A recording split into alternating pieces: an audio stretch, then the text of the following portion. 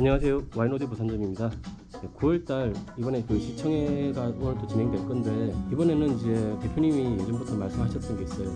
그 점장님의 LP 앨범 중에 몇 곡을 이제 고객님하고 같이 이 하이엔드 시스템으로 한번 들어보자.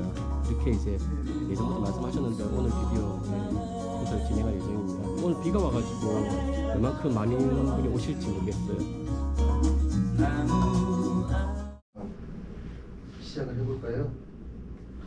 뭐 특별히 무슨 프로그램이 진행이 된다거나 뭐 상품에 대한 홍보를 막 정황하게 한다거나 그런 거 없이 제가 말씀드렸죠. 간단한 그래도 어떤 걸로 들었다 그거는 알아야 되니까 처음에 시작할 때 간단하게 소개 한 번만 하고 중간중간 또 음반에 대해서 간단하게 말씀만 드리고 그리고 계속 플레이 위주로 갈 예정입니다. 최근에 발매된 재발매된 음반들 위주로 그렇게 선곡을 했거든요. 재발매 됐다는 것 자체가 그 유명하고 사람들이 많이 사랑을 해주니까 재발매를 했다는 거 아니겠습니까? 그래서 들, 들어보시면 대부분 아는 곡들이에요. 그러니까 듣기가 좀 더 편하겠죠. 그렇게 생각합니다. 자 보시면 예, 스피커는 아주 뭐 핫한 스피커죠. 포칼의 스칼라 유토피아 에보 칼라 에보죠. 네, 스칼라 유토피아 에보고 그리고 요거는 골드문트의 두 개짜리 프리앰프 37S 그리고 monoblock power amp 텔로스 440 그리고 이쪽에 보시면 턴테이블은 토렌스 TD1500 TD1500이 뭐 완전 수동이에요 노가다를 좀 해야 돼요. 이 정도 노가다는 해야 됩니다 이건. 그리고 바늘이 그 바늘 바늘이 상당히 좋은 거예요. 김광석 네 번째 앨범이 있죠. 그 요것도 재발매가 됐는데 1, 2, 3, 4집이 다 재발매가 됐죠 지금. 다 배송이 완료가 됐어요. 그 중에서 이제 재발매 되기 전에는 요게 굉장한 고가였죠. 100만 원이 넘었죠 그냥. 싸게 사도. 그래가지고 그분들이 피눈물 흘린다는 소리를 들었어요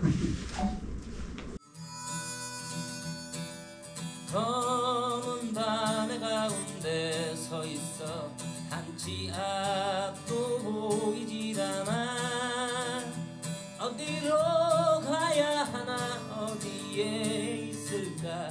둘러봐도 소용없었지. 뛰어가는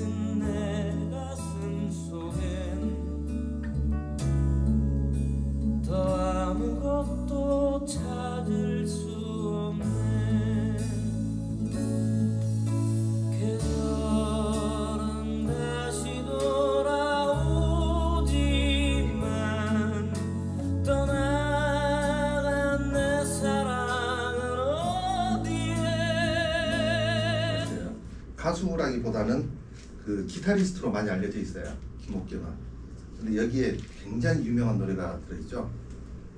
김광석이 나중에 리메이크를 했던 어느 60대 노부부 이야기.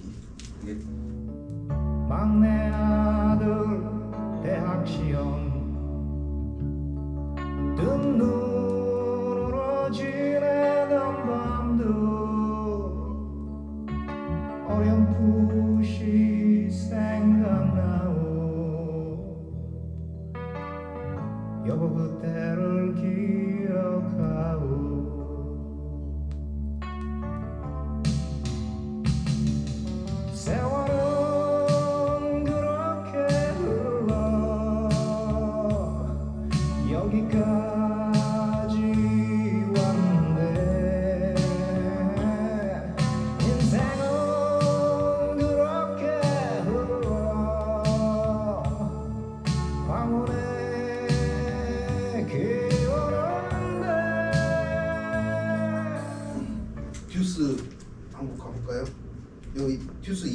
집인데 집안하고 초반하고 차이는 노래 곡수가 차이가 있어요.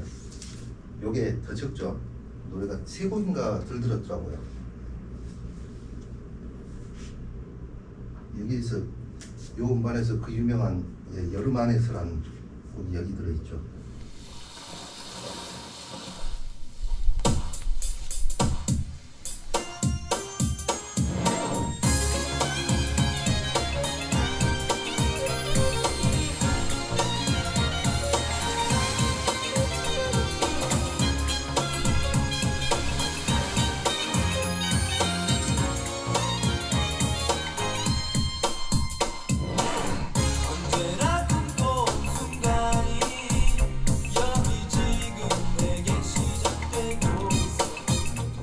얼마 전에 집을 매단 아이 오갈피거든요.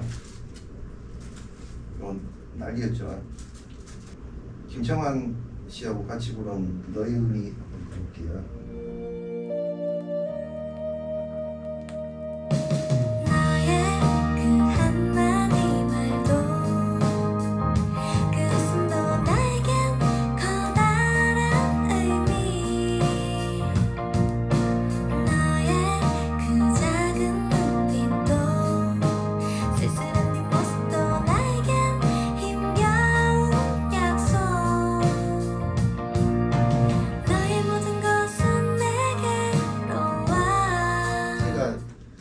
요걸 굳이 산 이유는 산다는 건 그런 게 아니겠니?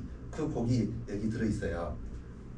그 곡이 들어있는 정규 앨범이 굉장히 비싸요. 제가 몇 년 전에 알아봤을 때 굉장히 그 고가의 거래가 됐어요. 거의 한 100만 원 그쯤에 거래가 됐었는데 요즘엔 많이 내려갔더라고요. 한 30만 원 그쯤으로 내려갔더라고요. 그거하고 국민학교 동창회 가는 길 그 두 곡을 굉장히 좋아하는데 여기에 보니까 비면에 첫 번째 두, 두 번째 곡으로 나란히 있어요. 그 두 곡이 한번 들어보실게요. 오랜만에 만나는 녀석들